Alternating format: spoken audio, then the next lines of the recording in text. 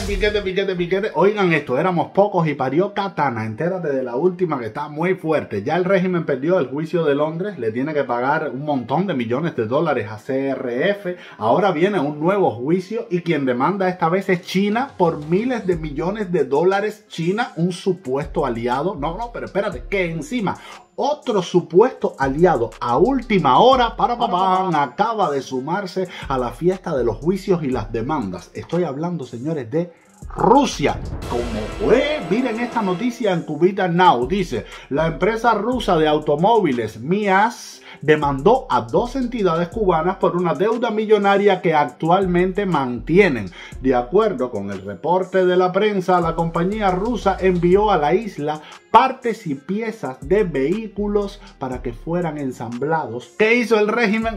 lo que siempre hace, señores, toma chocolate y no paga lo que debe. El medio local Dijo que la planta ubicada en Chelyabinsk formuló ante el Tribunal de Arbitraje de Moscú una reclamación por 23,4 millones de euros a la empresa estatal cubana importadora y exportadora de productos térmicos Tecnoimport, así como también al Banco Internacional de Comercio SA, BIXA. Que bueno, tú sabes que esto ellos a lo mejor lo resuelven como mismo hicieron en, Londres. No, no, no, esa empresa no es de nosotros y ese banco tampoco nos representa. Yo no sé de quién es, nada de eso tiene dueño.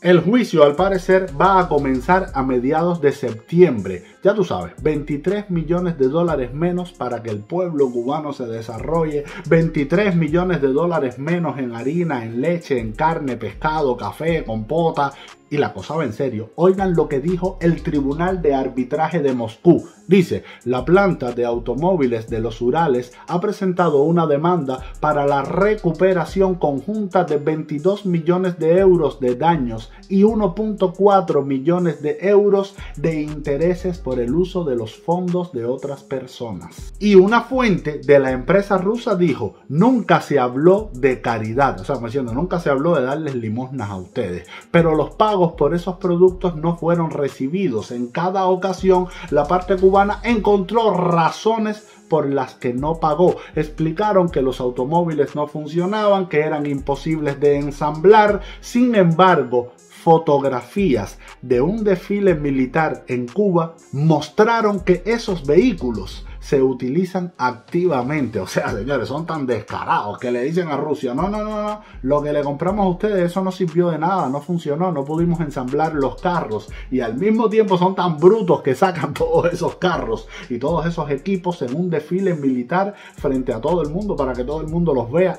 Dios mío, que espérate un momentico. Ya viste también que estos gordos se siguen endeudando, siguen sin pagar, pero lo que compran no es medicina, no es comida, no es tecnología para desarrollar eh, ninguna industria cubana. No, no, estamos viendo que lo que compran son cosas para los militares, cosas para reprimir, cosas para machacar al pueblo cuando el pueblo proteste, precisamente por el hambre y por la miseria que causan. Mira, ¿quiénes? Estos mismos militares que gastan el dinero en guanajadas y no en desarrollar el país. Es que es un círculo vicioso, una cosa así. Ah. Y bueno, amigos míos, nuevo juicio. Pero ponte tú a pensar en lo siguiente, ¿qué se puede esperar de esa cúpula cuando ya hasta sus dos principales aliados, Rusia y China, los están demandando? ¿Qué, qué, qué se puede esperar? Ay, Dios mío, nada.